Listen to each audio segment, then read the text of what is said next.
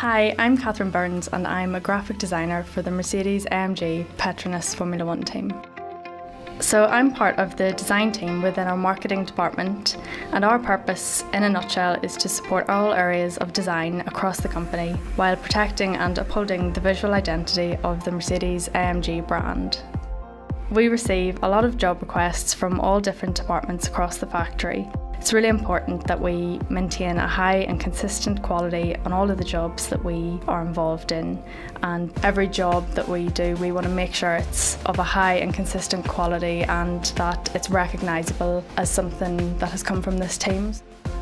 In every case, we start with the design brief. It's our job to interpret those design briefs, gather all the information that we need from different relevant areas, and come up with a creative solution considering budget and the timelines that we have to achieve.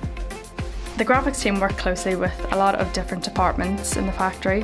We work closely with the commercial team when they pitch for new potential sponsors. We will mock up logos on perhaps different areas of the car. They will then present it to the prospects.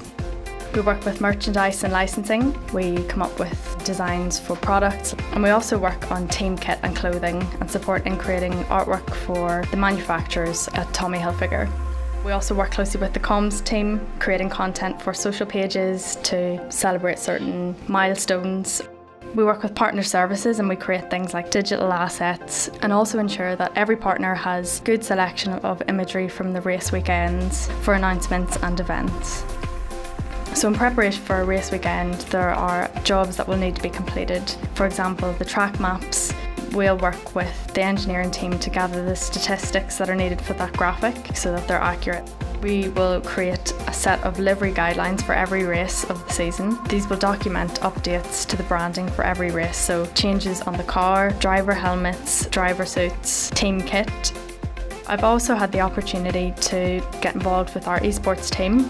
I was involved when they were creating a new facility my favourite part of my job is when you get a job that you have complete creative freedom, just something that you can take from start to finish. I really enjoyed working on the 2021 championship assets. It was just really cool to see something that you've been working on on your screen for ages come to life and be used around the factory and on people's wallpapers and the star maps were on the doors in the factory. It's just satisfying. Yeah, it's just a really cool thing to say that you contributed to that and the people liked it and it marked a really important milestone for the team. The biggest challenge in my role is that design is largely subjective, so it's something that everyone has an opinion on, so it can be difficult to find a solution that pleases everyone. Every stakeholder and line manager is 100% happy with. So it often requires a lot of open communication and honesty. I grew up in Northern Ireland. I was just watching a race one day and I decided that the paddock looked pretty cool and I would love to work there. So I was probably 14 and my dad said if you're going to take this seriously you're going to have to you know put things into action. So we wrote letters to all the teams in F1 and a few of them got back to me actually and suggested that I play to my strengths, that I find something that I'm passionate about. I'd always been interested in engineering and how things worked and so I thought that paired with the creative element I'll study design engineering. So it was all kind of with the idea with the aspiration of working in F1 I applied to do design engineering in Bournemouth Uni and studied there for four years and I worked in McLaren Automotive as a quality engineer and then applied as a Mercedes model designer and got it and was just delighted. I joined the team in 2019. When I started here I was in a very different role than to the one that I'm currently in my strengths lay in the creative side of it rather than the technical. I reached out to the head of design, just sent him an email asking if there was any opportunity for me to even shadow someone in the team.